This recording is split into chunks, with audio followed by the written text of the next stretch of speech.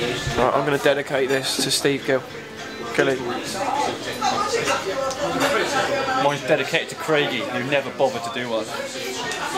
Yeah, because he didn't win at weekend and he's pretty good about it. I suppose I better dedicate this to Ashton, the good old trials legend.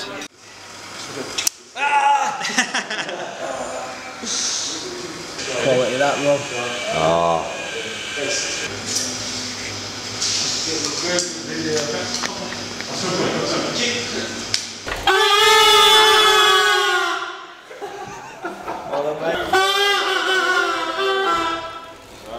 Yeah, I'm ready now. That pasta has filled me back up.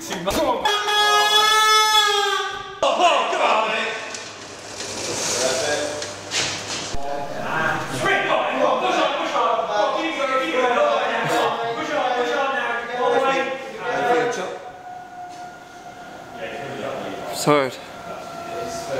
Very tired. And you can finish this minute. Come on, you can finish Come on, this. come on.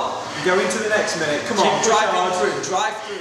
Push Come on, now. keep working. Come on, keep those. RPMs up. Come on, finish this keep minute. going. Come on. Keep them up, keep those them up, legs. keep going, keep going. Dig deep, come on. Dig in, You can dig do in, dig this. in. Come on, keep Come going, on, keep keep going. going. Come on, push. Push, push, push. Finish it.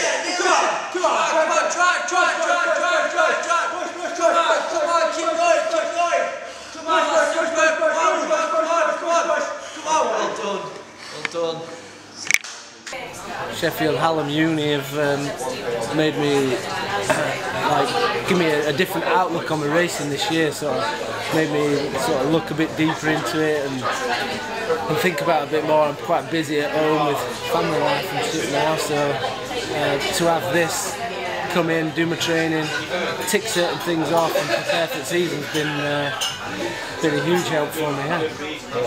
Yeah.